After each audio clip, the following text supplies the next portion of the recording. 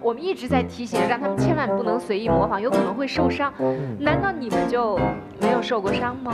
因为我练这个练的也是比较早，练完以后基本上身体就固定了，所以就跟压腿一样，就不是很难了，所以没有受过伤。微微呢？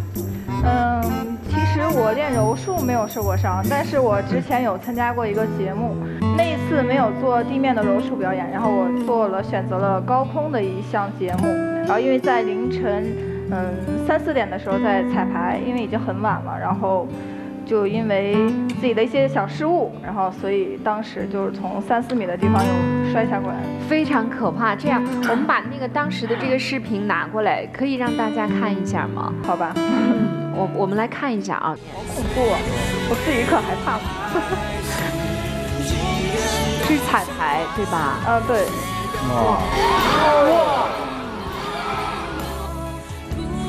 你是从半空掉下去的？而且是两个人一起摔下来，对，和我的搭档一起，没有任何防防护是吧？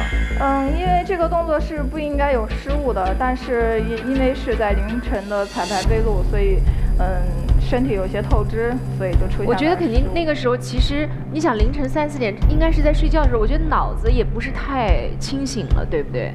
所以这一点，这个危险性太大了。我在想，我们中国人说不怕一万，只怕万一，严重吗？嗯，其实还好，因为没有摔到我的腰，因为我是侧面掉下来的，所以这边的软组织会有一些问题。然后，但是养了一个月就好了。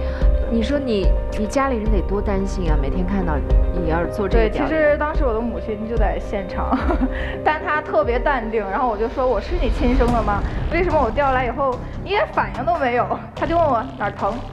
我我也不知道哪疼，就是这样。妈妈肯定妈妈肯定疼在心里了。对她特别淡定的那个去来安慰我。其实做这样一份工作，它可能是有一个年龄的关卡在那儿的，不可能像其他的会计啊或者其他的工作一直做到老。你考虑过这个问题吗？我觉得每个人的选择不同，而且我也是。嗯，我们老师以前有说过，因为我是一万个里边能挑出四个的那种先天条件比较好的，但是我要是不去练，那是不是白瞎了这一身的天赋呢？然后我只希望我的柔术可以达到，就是一提到柔术就能想起魏巍我。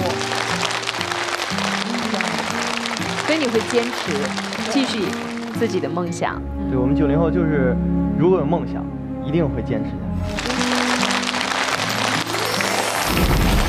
阳光自信的张若风魏巍，不仅把爱好玩出了花样，还让自己的梦想更有底气。这也许才是九零后该有的朝气。